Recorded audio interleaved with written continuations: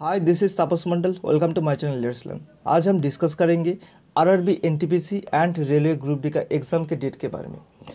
RRB NTPC यानी non technical popular categories exam के लिए वन करोड़ से भी ज़्यादा कैंडिडेट वेट कर रहा है। लेकिन अभी तक आरआरबी एनटीपीसी की कोई एग्ज़ाम डेट डिसाइड नहीं हुआ। एनडीटीवी पे रेलवे ऑफिशियल से बोला गया है। रेलवे बोर्ड अभी तक एजेंसी चूज़ नहीं कर पाया एग्ज़ाम कंडक्ट करने के लिए। इसलिए एग्ज़ाम डेट ऑफिशियली पब्लिश नहीं किया गया।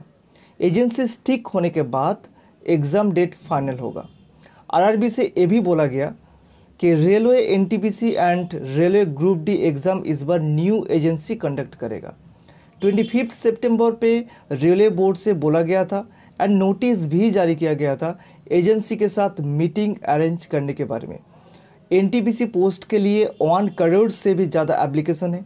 A huge number of candidates इसीलिए एग्ज़ाम स्मूथली कंडक्ट करने पड़ेगा। तो एग्ज़ाम स्मूथली कंडक्ट करने के लिए आरआरबी ने डिसाइड किया कि न्यू एजेंसी एग्ज़ाम कंडक्ट करेगा।